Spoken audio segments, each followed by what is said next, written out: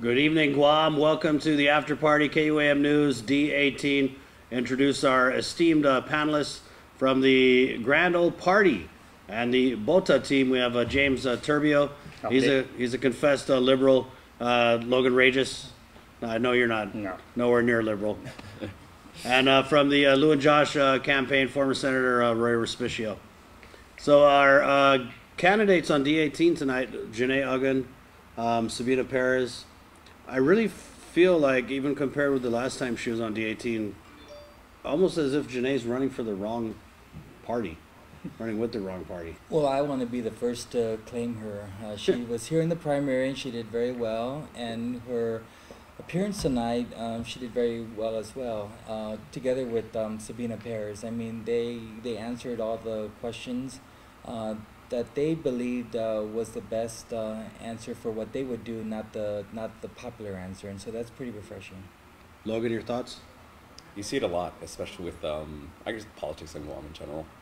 Uh, one party in name, but their politics leans one way or the other. Right. Yeah.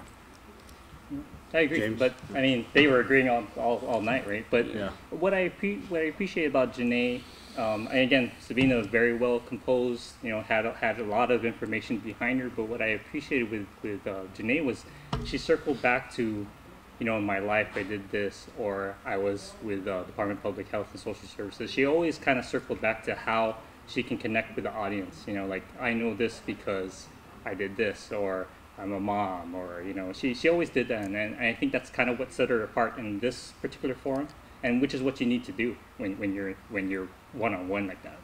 And so, you being with the Republican Party, uh, just wanted to ask, you know, heading into the general, uh, what types of uh, things are you guys doing to um, to kind of keep your your senatorial candidates on message? Well, I mean, they, we've said it. uh, You know, party in a way, yes, we're you know we have different parties, but you know they all have their own strengths. They all have their own beliefs, and so if if anything, what we try to do is stay true to yourself. You know, people want to know what is it about you. You know, that, how do you represent us? Because it's a you know representative, right? So you always try to humanize uh, yourself. Try to say, hey, you know, I'm just like you. You know, I've struggled. She did she was she did a great job in doing that. You know, my mother, she even said we lost our jobs, and Right. she she did all that, and a lot of people, uh, you know, can identify with her, and so that's that's generally what you really should try to do. Uh, as a as a proud Democrat, uh, Logan, what'd you make of um, some of the stances Sabina was taking tonight? I think that her leaving the classroom is a great service to the children and a but a great gain for the people of Guam because I think she'd make an excellent senator. Um, if I were in high school, I would ask to be in her class. You know, I she just has that execution and she thinks about things melodic, methodically. Sorry, Right. um, and she's not. She just doesn't seem like she's moved or driven by emotion, and you Right. need that on, on that level, especially with things that are Emotional issues. yeah. I mean, a lot of the issues that we're dealing with uh, nowadays, they really incite a lot of passion, a lot of emotion. And you're right, she kind of seems. Um, I remember when she came on the first time, she talked about taking a scientific approach uh, to Guam's problems in terms of you know having a theory, a hypothesis, and um, you know doing a lot of research, which is something you don't really hear. I mean, we kind of laughed at first, right? But uh, looking at evidence-based decisions. Yeah. Why is that novel? right, I want to say I appreciate what Logan said in recognizing uh, Sabina Perez. She left the classroom because she plays by the rules. And I think it also shows that she's all in uh, in terms of this. I see her what you did desire- all in, but with really her desire to want to take a seat in the, or earn a seat in the Guam um, legislature. Yeah, I've been very impressed with um, Sabina and what she's uh, been able to do and how she uh, presents herself and communicates her ideas. The one thing I've noticed about Sabina is um, going into this, because of uh, the work and the association um, that she had with Protect and a lot of people maybe mistakenly thought that she was a one-trick pony, one-issue candidate.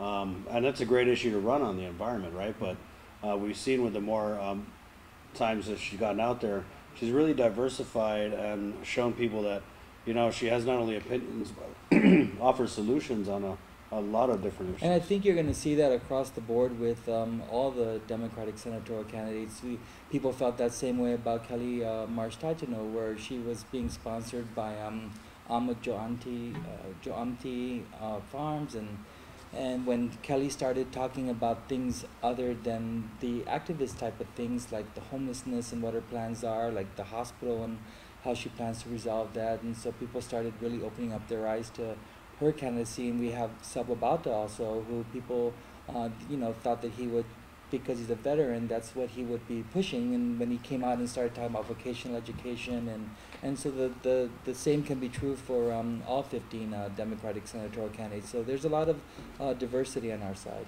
I felt like the um, format tonight really favored Sabina, and I don't know if it's because she answered a lot of questions first, and Janae was was pretty much like, "I agree with you, I agree with you." Mm. But in a, in a larger uh, forum like the one you guys had uh, over at the Guam Young Professionals, how did Sabina fare in a you know wider field? About the same. Uh, the difficult thing for me as the moderator was to create a well-rounded picture of the candidate, but she did a very good job in, in her opening, just just like she did tonight. Right. But I think I think it's it- you know it's it's difficult to say that because you know voters are kind of finicky and kind of, do they want you know the cerebral or you know I'm going to answer this you know or I'm gonna, do I want the one that can identify with me and, and kind of relate their answer in that way and so if you're looking at the two they definitely did have separate um, ways of delivering the, the same Right, message pretty right. much right Yeah. so I mean I, I, I you know she's a personality you know Janae just kind of has that kind of kinda bubbly. yeah, she kind of has that bubbly, and some people like that, and some people don't. So uh, it's really hard to say. And, and generally, for whatever reason, um, you know, the public likes to kind of balance it out. You know, you'll have the cerebral side, you'll have the kind of more personality side, kind of just kind of balances out that way. We, you never see a full legislature where they're all, you know, stone faced or Right. whatever. Right. And I know that when um, Sabina, she kind of is coming out of her. I mean, she still has that real, uh, you know, methodical approach and uh, almost stoic. Well, you asked uh, James what the GOP is doing to kind of prepare the um, the Republican candidates. I, you know, I need to recognize uh, the Democratic Party through the leadership of Senator Jean uh, Biscoe Lee. They've uh, actually, I guess, with modern technology and with the Senate, they're on a chat, so they're constantly There's talking a group about, chat? Yeah, so they're constantly Okay. you know bouncing ideas Right. off of each other and but also they do have these um, uh, brown bag type lunches bring your own lunch and let's talk about the issues let's see where we can start having uh, common ground and immediately after the primary election which happens um, historically and traditionally is the the party's nominee in the gubernatorial race kind of uh, steps in and helps the party. Now the party can take a position because prior to the primary they can't. And so the Lou and Josh headquarters has been available uh, to the senatorial candidates and as well as some of the resources of that campaign to try to, you know, share uh, with ideas and, and what needs to what needs to be done in all these forums. I know that you said that uh, hosting and moderating the, the forums that UIP had, that the Democrats uh, seem to be more uh, cohesive as a unit uh, Mhm. this election. Yeah. Um, in past elections, I always saw that on the Republican side, like um, a definite conservative slant, um, strong focus on business and economy. Uh, this side, this time around, it seemed like the Democrats they just had that very calculated, very prepared um, presentation. I think it's a it's a, it's a little different. I think you know we do the same thing with the Volta and the GOP. Um, you know we, we have meetings as well, and, and we meet with the candidates. I think that maybe the difference that you're seeing is, you know, we really do recognize the strength of all our candidates. You know what they bring to the table, their personalities, and so. Uh, you will see coming up, like I think Rory hit us, the senator hit it right on the head. You know, in the primary, can't really you know do too much. But now that there's a clear um, nomination on, on the gubernatorial side, you're going to see more organization. We're going to be you know way more involved than we already are, and so you, you're you're going to start seeing. No, that. I should preface the the Republican forum came first, so the Democrats had time to see the layout and Right. come prepared and Right. see how I moderated. Well, well I'm, I'm curious with um, with everything that's happening with uh, Lieutenant Governor Ray Tenorio, you know, with these charges and uh, senatorial candidates. Um, I mean, it's a pretty diverse group, and then you had, you know, the recent announcement that I mean, Frank Blas wants to run. You know, the party's not approaching him. How's that affecting uh, the unity on, on the senatorial side? Do you feel like uh, the candidates um, wholeheartedly want to hitch their wagon to that Tenorio Ada um, campaign? Yeah, not at all. I mean, we just had a meeting on Friday, um, to, you know, to ratify the results and, and, and to um, fully endorse our candidates. And I didn't see any, you know, any wavering from, from anyone that was there. Uh, we were uh, actually wondering if he was going to show up, and you know, we would just Frank Blas Jr. yeah, and Yeah. just go, hey, you know, let's just all all all uh, Let's squash keep this together. right yeah, here, just right squash now. right there. And you know, he didn't show up, but everyone that was there is committed, and and I think we're we're as strong as we've ever been as a party. Senator? Well, it's good that um, James says they're as strong as they've ever been as a party because all for one, one for all. And I think the the voters are trying to ask individual candidates from all the different offices what their position is from both parties, what their position is on on the issues that the lieutenant governor is currently um, been charged with and what he has to uh, go through. It's extremely unfortunate, but it's something that uh, he has to go through. At the same time, he has to go through an election. And so the other issues uh, come up and come into play, and that's put before the voters to make those decisions. Excuse me there. Okay. Uh, so Logan, um, what do you make of the the Republican slate of candidates? Because I mean, we, I've, I've you did the forum, uh, but you're right. There seems to be a little more diversity in the viewpoints. You don't, um, whereas maybe in the, the last senatorial election, you're right. It was like pro business, pro build up. Uh, now you get a Republican candidate like Janae, who I mean, she pretty much um, said she doesn't support the build up. She thinks it's uh, bad for Guam. So, what do you make of those uh, different kind of viewpoints? on the right that you would normally find on the left. Well, it, it, makes things interesting. Um, I think I, maybe I could speak for my age group. I'm 37, and um, I see I see kind of a shift in the political spectrum when it comes to voters, especially my age, and the conversations that I have. Um, and we're not really looking for everyman politics. We're looking for people to actually have solid stances on different things, whether they be a Republican or a Democrat. Um, we're not looking for people that are agreeable. You know, uh, would you be opposed to this? Well, I would consider it. We want to know where you stand, where you stand on things. And that's interesting because um, the primary, we saw uh, people were really, a lot of the candidates were really wishy washy. Uh, no one wanted to take a stance. I mean, on both sides, Republican, Democrats, I mean, you ask a question, you would get, oh, yeah, I feel this way, but I'd be willing to feel that way. I mean, if that's what you, you want me to feel. Do you feel like uh, heading into the general, everyone's kind of buckling down their stances, and is the GOP really saying, hey, uh, no matter what you stand for, get out there and, and make sure people know where you stand? Well, you know, this is it.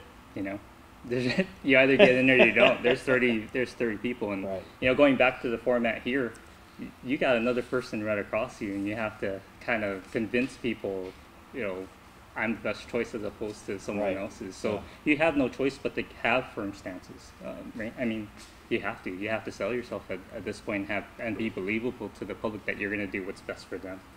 And so, yeah. You know, and you're right, Chris. You you on both sides, you could certainly see the transition from when they first started as a candidate to today.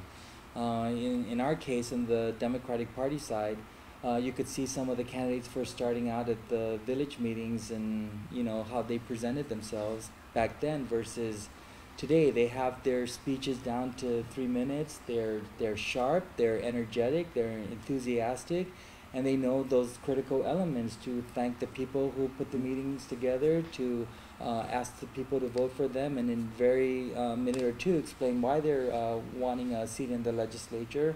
Uh, and then so that's that's what I think they've learned um, just by going to these meetings and Yeah. and, and they're studying. They're studying because they, with this day and age, with um, uh, modern technology and, and social media, and I've, what I've seen in a couple fundraisers, I know that Lacia Casil did this the other night, where she took questions from from the audience, from her, her people that showed up, and even you would think they were there to uh, support her, obviously, but they didn't give her any passes on the kind of questions they were asking her, and then she just one by one was answering the questions and put on Facebook Live. I believe um, Clynt Ridgell did something like that as well. And so you're seeing this kind of um, different kind of interacting with the public, as Logan Right. pointed out, and it's very refreshing. So Logan, uh, Sabina, uh, Janae, honest opinion. I mean, uh, which one of the two or both or none do you think is going to end up having a seat in the next legislature? I think Sabina's definitely going to have a seat in the legislature, and I would hope that Janae also makes it in. Actually, as a startup and a small business owner myself, anybody who wants to deregulate so that small businesses can and build up and help the economy. I'm all for that. And she has some very solid ideas. Uh, I asked her straight out about the filing fee for the LLC, and she's like, "Yeah, it's thousand dollars. We need to get that down." Right. And then, yeah, she brought up a good point about uh, you know something I do making Denancy, and uh, I mean to make Denancy, you need to do the same amount of uh, you know uh, paperwork and licensing fees, and spend the same amount of money as someone who wants to open a full blown restaurant. And I think there should be some, you know, I mean, Yeah. Right. they should Right. scale it down. this is where. Right. the the you know the Republican and Democrat sides is like regulation, deregulation, those things Right. come into play, right? Yeah. I think if you remove their political labels and just recognize that they're women, I think they uh, do have a great chance of having a women-led majority in the legislature. Right. Uh, together with the governor's office, of course, Adley. but I'm just saying with Janae and with um, Sabina, and I mean, I would like to see a majority uh, female legislature uh, for one. James? Yeah, these are great times. I mean, you know, that we're, we're able to talk like that. You know, we have a lot of strong women running. I, you know, either of them, I, I, I kind of like, uh, you know, they both are obviously knowledgeable. Um, you know, they both have their own strengths. I, I, I wouldn't be surprised if both of them made it. Uh, I, I really don't. Um, I just kind of wish we had more experience in there. I mean, you know, we, we had the center in and some of the other ones that left, you know, uh, I, I am a little worried, but at the same time, you know, yeah, they have great. There's great staff out there, and and I, I think having young and dynamic, dynamic people making up uh, our our future is, is always going to be good for the island. I think Yeah, you know, like, new people, new people. Definitely proven interesting this last term. Yeah. I mean, would you almost wish that some of these um, longtime uh, guys and women with institutional knowledge would do more to like mentor some of these? Uh, I mean, if you look at who's um, leaving, well, BJ Cruz is over to OPA, right? But yeah, you know, uh, Senator Frank Aguon, Senator Dennis Rodriguez, Senator Tommy Morrison on the Republican Yeah. side, Senator Espaldon. I mean, these are guys who, you know, have uh, been on the grind for the people of Guam for, you know, I mean, collectively, 20, even in some cases, 30 years. You almost wish that they would kind of take some of these candidates under their wing on the Republican side. Are any of the um, outgoing uh, senators like Senator Morrison or Senator Espaldon doing that? I, I know they, uh, they they do actually. I'm pretty sure uh, they go up there. Why wouldn't you?